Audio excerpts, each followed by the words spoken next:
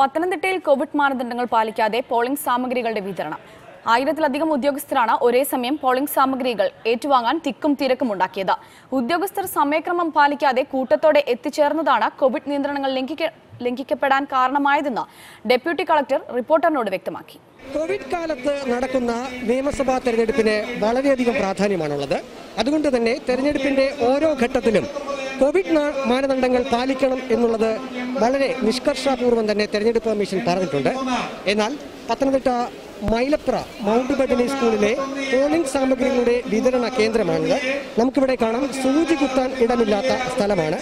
ആറന്മുള നിയോജക മണ്ഡലത്തിലെ പോളിംഗ് സാമഗ്രികളുടെ വിതരണം നടന്നത് പത്തനംതിട്ട മൈലപ്ര മൗണ്ട് ബദനി സ്കൂളിലാണ്. രാവിലെ തന്നെ പോളിംഗ് സാമഗ്രികൾ ഏറ്റുവാങ്ങാൻ ഉദ്യോഗസ്ഥർ എത്തിത്തുടങ്ങിയിരുന്നു. പത്തരയോടെയാണ് പോളിംഗ് സാമഗ്രികളുടെ വിതരണം ആരംഭിച്ചത്. പോളിംഗ് സാമഗ്രികളുടെ വിതരണം ആരംഭിക്കാൻ താമസിച്ചതിൽ ഉദ്യോഗസ്ഥർ അസംതൃപ്തി പ്രകടിപ്പിച്ചു. സമയക്രമം പാലിക്കാതെ വരികയും ഉദ്യോഗസ്ഥർ കൂട്ടത്തോടെ എത്തിയതുമാണ് കോവിഡ് മാനദണ്ഡങ്ങൾ പാലിക്കാൻ സാധിക്കാതെ വന്നതിന് കാരണമെന്ന് ഡെപ്യൂട്ടി കളക്ടറും റിട്ടേണിംഗ് ഓഫീസറുമായ ജെസിക്കുട്ടി മാത്യു വ്യക്തമാക്കി ഇന്ന് ഞാൻ ഓരോരുത്തർക്കും ഓരോ സമയം കൊടുത്തിട്ടുണ്ട് ഓരോ ബൂത്ത് അനുസരിച്ച്. അതനുസരിച്ച് അവർ പക്ഷെ എല്ലാവരും കൂടെ ഒരുമിച്ചാണ് വരുന്നത്. മൂന്ന് നാല് മണിയാകുമ്പോഴത്തേക്ക് കംപ്ലീറ്റ് ഇവിടുന്ന് എല്ലാവരും പോയി. നമ്മൾ അനൗൺസ് ചെയ്യുന്നുണ്ട്. അതിനാ അവർക്ക് സമയം കൊടുത്തത് പക്ഷെ അവരത് പാലിക്കുന്നില്ല.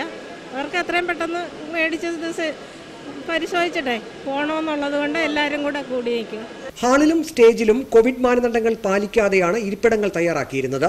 പോലീസ് ഉദ്യോഗസ്ഥരും തിരക്കിന് മുന്നിൽ നിസ്സഹായരായി. ആറന്മുള നിയോജക മണ്ഡലത്തിലെ പോളിംഗ് സാമഗ്രികളുടെ വിതരണമാണ് മൈലപ്ര മൗണ്ട് ബദനി സ്കൂളിൽ നടക്കുന്നത്. ഇവിടെയാണ് കോവിഡ് മാനദണ്ഡങ്ങൾ പാലിക്കാതെയാണ് പോളിംഗ് സാമഗ്രികളുടെ വിതരണം നടക്കുന്നു എന്ന പരാതി ഉയർന്നിരിക്കുന്നത്.